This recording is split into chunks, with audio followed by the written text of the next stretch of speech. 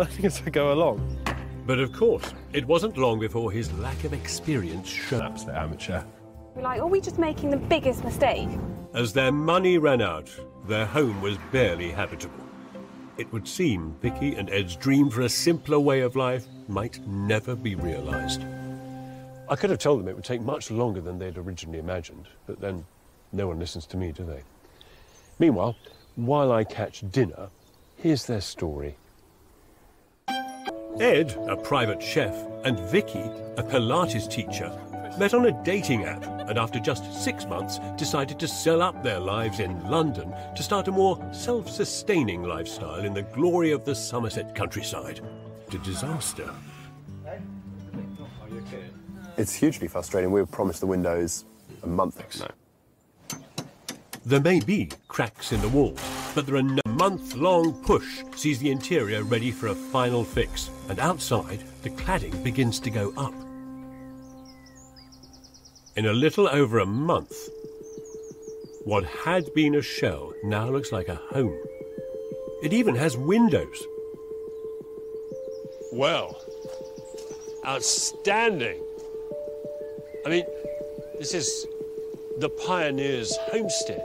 Outside looks finished, but inside there's still a fairly long to-do list, like furniture and a functional kitchen. Oh, you've done a few. I told you to pull it down.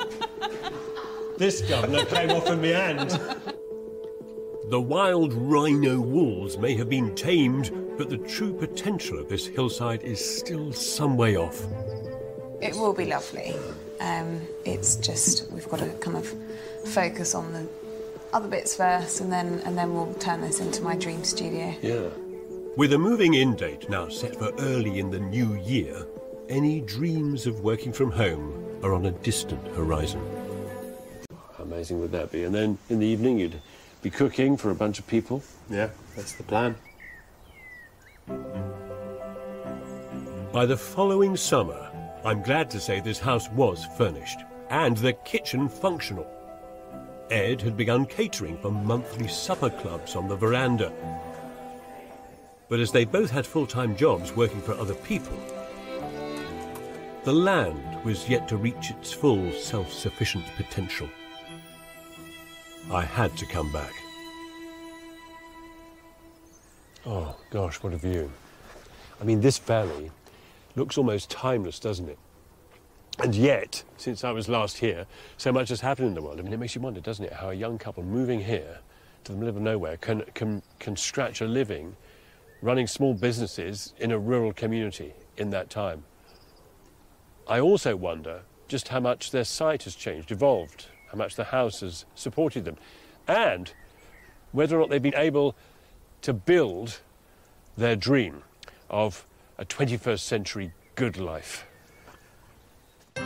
Having first met Vicky and Ed seven years ago, I once again find myself walking down the lush Somerset Lane to their site.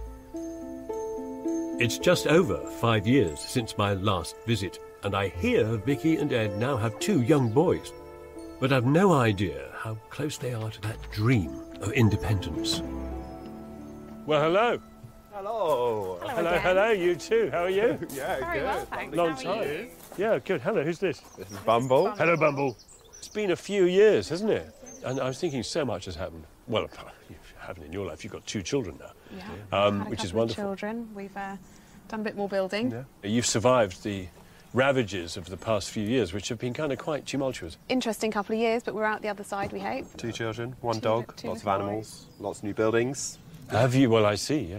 We've evolved and uh, business has evolved. You're both smiling. That's good. Yeah, still smiling. Smiling. Yeah, yeah. Seeing you, smiling. Get lost. Yeah. Yeah. Do you want Yeah. to come, and- come and have a look? Come on yeah, in. I'd love to see it. Yeah. Come on, Bumble.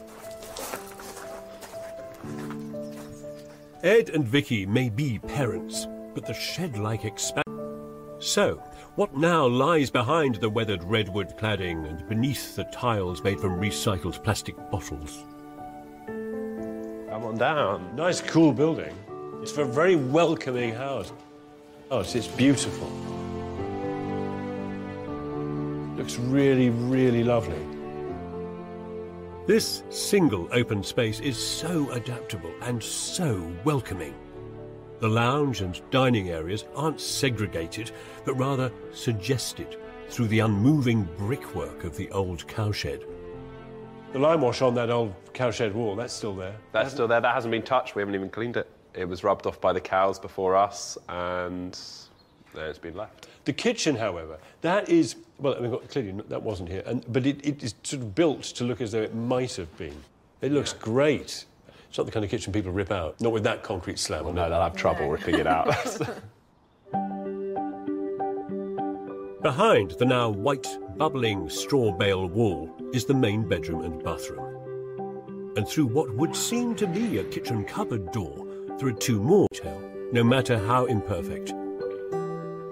This place, it seems to me, speaks of you entirely. It's autobiographical, and there's not a hint of showroom about it. You know, everything's made, not bought. Yeah. That's how I like it. Well, that's how we like it. Well, I was going to say, we know that's how Ed likes it, yeah? But you, you, Yeah. you, you're happy. Yeah, very happy. It's um, and the house certainly tells a story. Having put so much effort into this project, I want to know how this great Somerset hacienda is looking after them. I was working for the NHS up until the end of last year, um, and it was sort of our, our final fixed income. And we made the leap in yeah, November last year when our oldest son started school, and you know I'd be coming back from the hospital and then saying hello to them for about five minutes. It just felt like really, you know, It's too much. we weren't we weren't seeing them enough. Yeah, yeah. Vicky is still teaching Pilates from the now finished studio. But the main income that supports this family is their catering work, which is rooted in the landscape that stretches out beyond their living room. Just brilliant room Yeah. out here. I don't know how on earth you found this place with that kind of commanding view on top of the world. It's I mean, just so rare. Yeah, we're very lucky, that's for sure. For Ed and Vicky, this valley is now much more than an awe-inspiring backdrop. They now rely on about 12 acres of it to not only feed themselves and their family, but also to support a flourishing catering business. Today, they keep sheep, geese, as well as chickens and pigs. And then there is the sumptuous kitchen garden. This valley is now their freedom. It's all a bit of an experiment. You know, we're, we're relatively new to veg growing. So the veg garden here is probably, it's not that big, is it? No. And how much will this feed? How many people, how, for how long? I mean, It, it varies from the time of year, but we can do in the summer ev- ev- events almost weekly of 50 people will be fed. Almost 100% from the garden here and from the land. how do you manage to keep this water? Because, you know, what have you done? How have you, where's your water from? It's all still rainwater. Still rainwater. We have to be very careful, and occasionally we have to buy water in. 70,000 litre storage system. We've become hugely aware of water usage and when it rains, and that's nice. I like that, and the boys will grow up appreciating how precious water is. There is a pragmatic environmental ethos that underpins everything that happens on this site. A drive to demonstrate that there is a greener alternative path that, when taken carefully, can work. It's big. Ed's homegrown meals are now often served weekly to 50 people in a huge barn that, of course, he built himself. I really like the fact you can read the structure and read the loads of the building. It's very solid. All in round pole, All, yeah, which is relatively cheap. it's maybe more rustic than Vicky first imagined. It's less rustic than I first imagined. So we Yeah, found we found middle. some kind of compromise. Ed is now an accomplished builder. Another example of his talents is a small cabin they rent out as a holiday let on the edge of their land. This is the first thing that I've built entirely from start to finish by myself. A delightful hilltop retreat. What a sweet little thing. It's a cabin of delight. All the profits from these ventures are ploughed back into the site, and one unexpected beneficiary Mr. McCloud, welcome to the annex. Thank you. is Vicky's dad, Paul. Thank you. Wow, what a beautiful deck. and a lovely view. This is all new. I mean, this is uh, an ex- extension, an Yes. annex to the. It was finally ready for me to occupy, as it were, uh, round about the 9th of March 2020.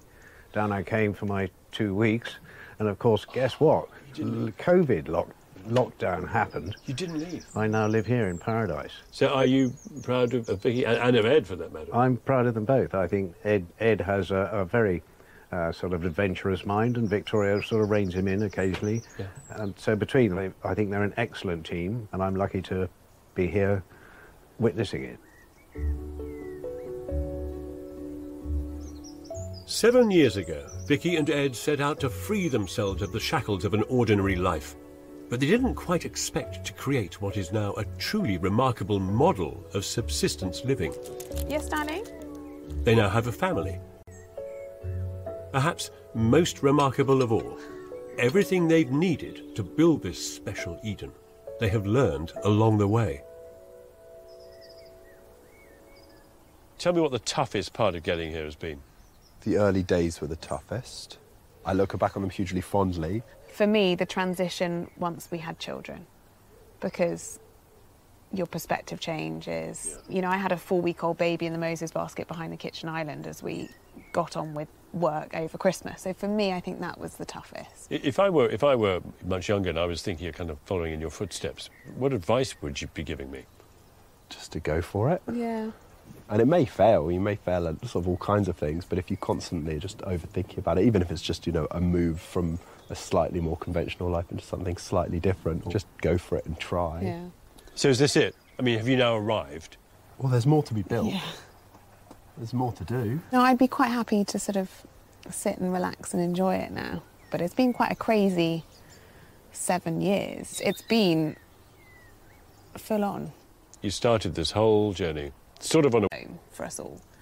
So I don't see that it would ever, that whim would ever come up. I'd like to. I'd, I'm planning on digging my own grave on the site here. I plan. I've already got it marked out. Just roll me into it. It's fine. I'll do their own catering for my wake. For some, Vicky and Ed's new way of life may seem old fashioned, but I disagree. I think this low lying, unintrusive collection of buildings that they've cobbled together represents a future. They may only have lived here for a few years, but their relationship to this place is profound. They've demonstrated that a greener, more considerate way of life is possible, beautiful, and desirable.